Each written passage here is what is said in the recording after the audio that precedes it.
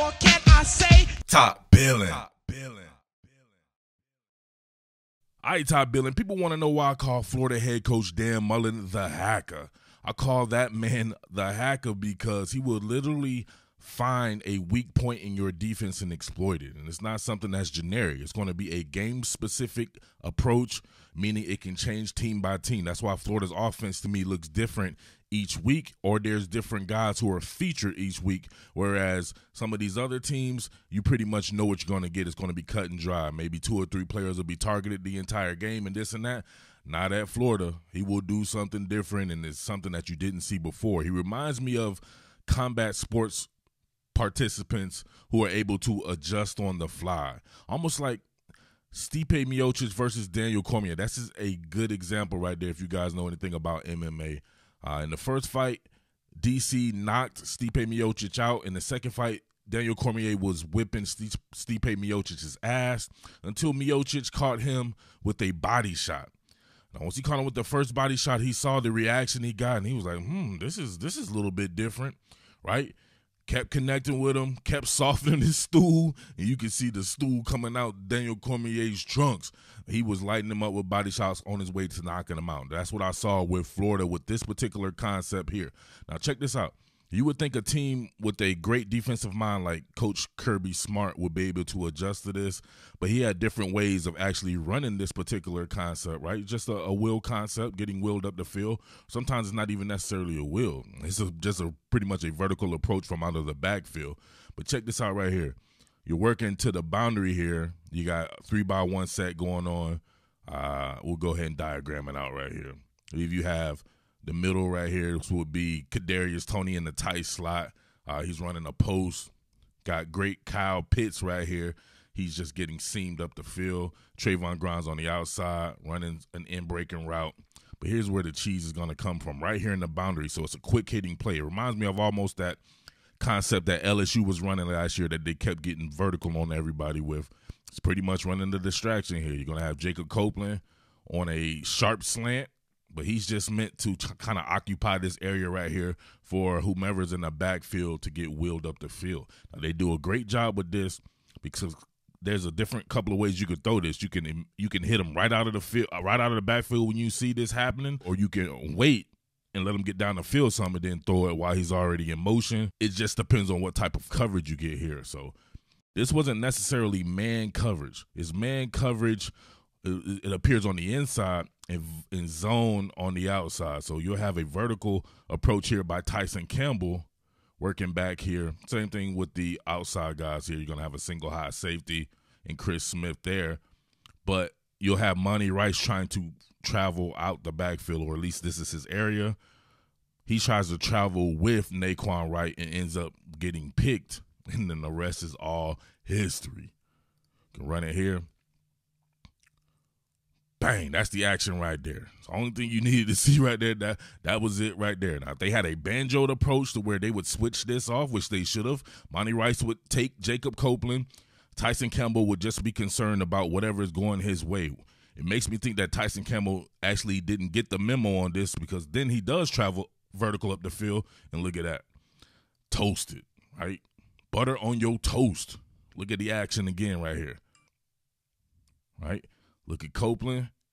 He's looking like he's not really running anything. If, to be honest with you, he knew exactly what they what was going to happen right there, and he's just meant to muddy the waters. Nay'Quan Wright, he could have hit him right here and then let him run, but that may have stopped his momentum. He let him run up field a little bit, which is even smarter. Get that momentum going, and Nay'Quan Wright is much faster than a Monty Rice, so able to burn him stride for stride there. Nothing happening. All right, so remember, he's the hacker. There was some type of encryption that he decoded with Georgia's linebacker corps where he figured they could not run with his running backs out of the backfield or even tight ends out of the backfield. So being able to isolate those guys and get splash plays off of them is typical Dan Mullen, the hacker way. So on this one right here, this is probably my favorite one. He's going to pull Richard Gouraige here, run into a deep set. He's going to have I believe Kadarius Toney right here in the tight slot, running an out and up. So he originally wants to work with this. As you can see right here, there's help over the top with that. But he does recognize that to be man coverage. So then all he has to do is come backside right here. And you're going to have, remember, this is going to be play action as well. So play action to Malik Davis.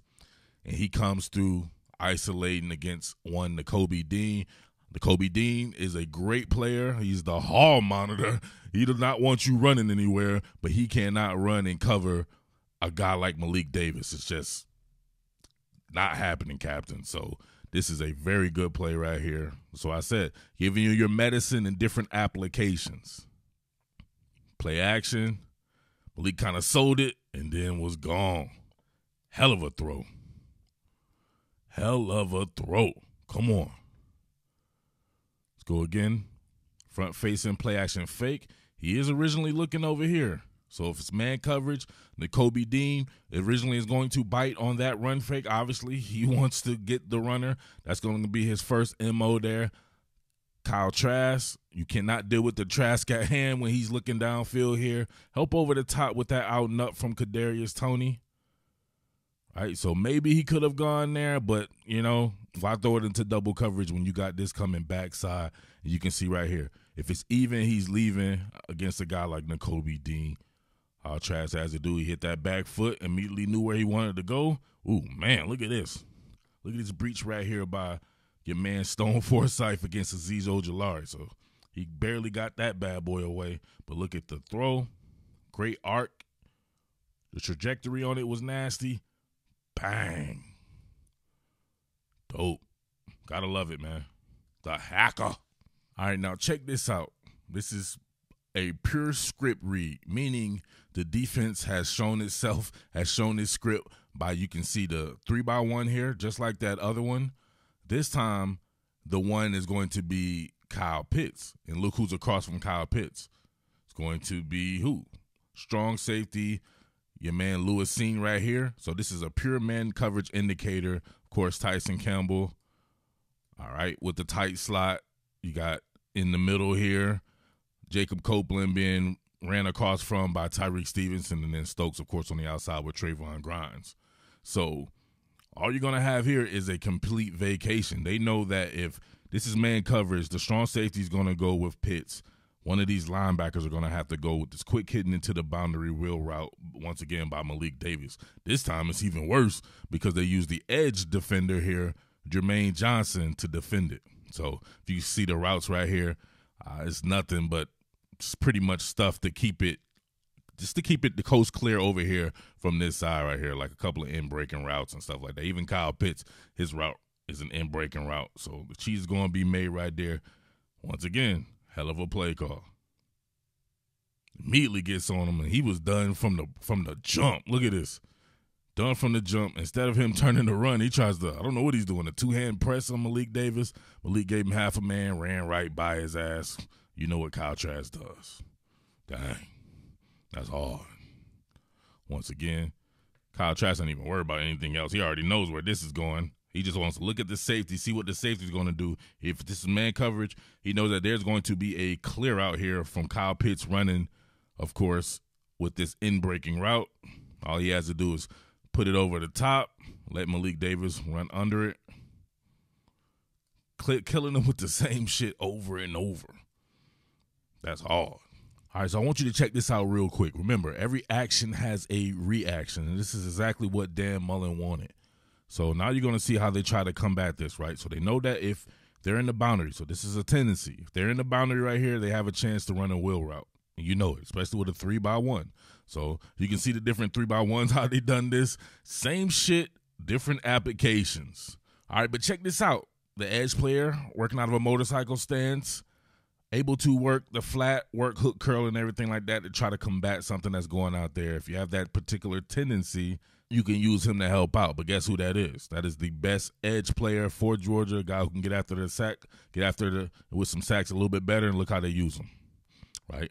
He's not worried about getting the sack now. He's worried about that wheel route. So you take him out of the play, now you have a three man rush.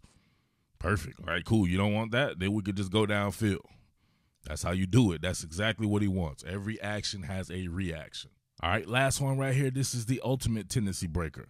So now you're on the hash, and it's going to look like there's no threat of a wheel route first and foremost, you have Nay'Quan Wright on the other side. So you're not going to run a real wheel route from way over there normally, right? So you would think like, man, I could probably relax on that. It's not a three by one or anything like that. Actually, you're to have jet action here by Kadarius Toney.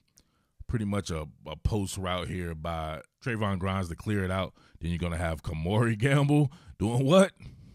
getting wheeled up the field. And you even see Azeez Ojulari, as smart as he is, he almost recognizes it as a threat crossing his face, and he kind of checks off of it a little bit, but he's like, nah, he's not going to be run, running a wheel route. It's going to be up to the back if they were going to do that. So once again, the hacker doing this thing. I love this one right here. Jet action, play action, nobody home. I want you to look at Azeez Ojulari here right? Same same exact thing. Him on his feet, checks off of this. You can see him right there. He hits him. He's like, all right, I'm good right there. No wheel route. Let me get after the passer here. But of course, it is a wheel route. Bang. Come on, man. That man ain't the truth. Listen, Dan Mullen, Steve Sarkisian, Ryan Day, these guys. These some really good coaches out there as far as the offense goes, where guys were able to adjust in game. I absolutely love it. These guys are on top, as at least as of right now. We shall see later on or whatever like that. But make sure you pay attention to those guys. But I wouldn't take anybody over Dan Mullen. That's just me, though. I think Dan Mullen is that damn good. So we shall see. But let me know in the comment section what you think about this. Georgia had no answer for it, and I can't wait to see them match up again next year to see uh, what Dan Mullen comes with comes up with, and I want to see Kirby Smart adjust as well. Kirby Smart needs to take control of his own defense because I know damn well if he were the guy that was running it, I don't know. He is the guy, so it's his team, so the responsibility falls on him no matter what happens. So they should have adjusted to this a little bit better. But it is what it is right there. It's your boy Murph, the Underground King. Peace. What more can I say? Top billing.